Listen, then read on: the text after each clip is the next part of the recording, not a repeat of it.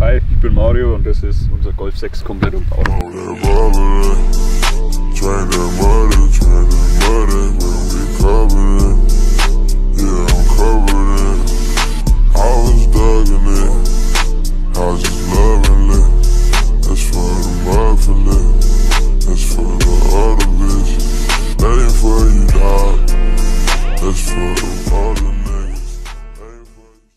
Ja, wir haben ein Golf 6 komplett umgebaut mit einer sogenannten Bassreflex-Wall mit 4x18 Zoll CZ Audio Street Neo Subwoofern.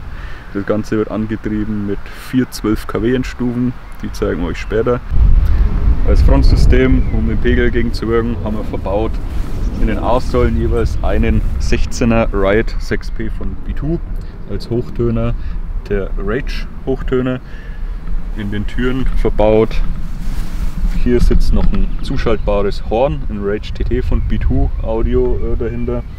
Äh, 416er praktisch hinter diesen Abdeckungen. Ähm, 416er B2 Audio Rage, keine Rage 6P, sondern herkömmliche Rage äh, äh, die auch vom Tiefton her äh, ordentlichen Pegel wiedergeben können. Als Head-Unit haben wir in dem Golf verbaut ein Pioneer DEH 80 PS. Das Ganze wird dann nochmal separat angesteuert durch einen Helix DSP3. Hier haben wir einen sogenannten Konduktor, der für Setupwechsel und Lautstärke und Subwoofer-Steuerung äh, eingesetzt werden kann. Hier unten in der Mittelkonsole noch, äh, wie ich schon gesagt habe, in den Türen äh, der mittlere Schalter beispielsweise, da können die Hochtöner äh, für eine separate Endstufe dazugeschalten werden. Ganz links ist die Stromversorgung fürs Radio, für die Spannungsanzeige und der ganz rechte Schalter ist zum Zuschalten für die Subwoofer-Endstufen. Mit dem Konduktor haben wir unterschiedliche Möglichkeiten, das System zu ändern, umzuswitchen. Wir haben jetzt beispielsweise wie bei Audi, hm, ich sage jetzt mal dieser Drehknopf vom MMI, wir können auf den Knopf draufdrücken und zwischen den Einstellungen wechseln. Das heißt, wir haben jetzt hier unser, äh, unsere Main Volume, wo wir die Lautstärke ändern können. Wir können nochmal auf den Knopf drücken, jetzt haben wir die Subwoofer-Steuerung.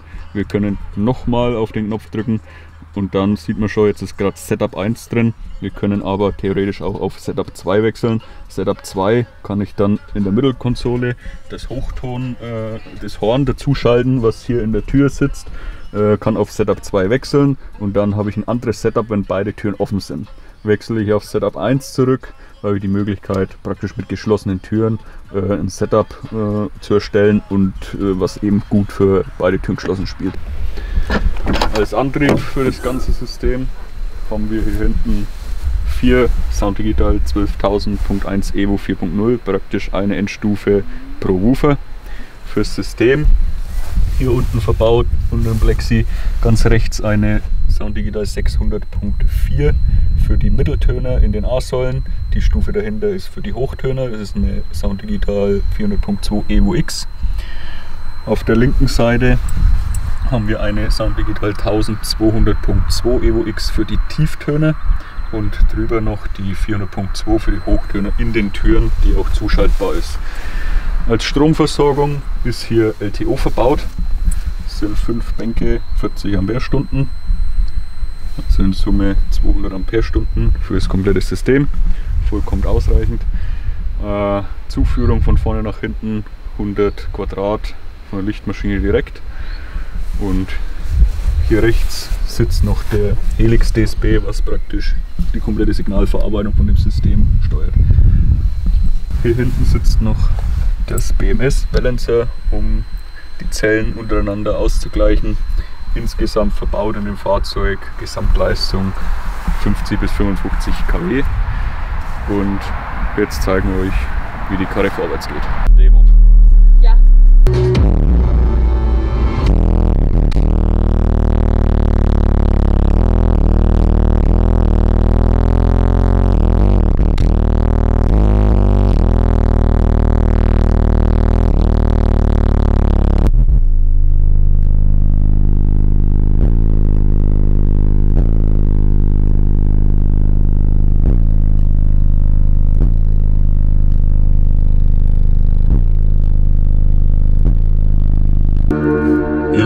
Strictly for the motherfucking traps. Loyalties unlocked.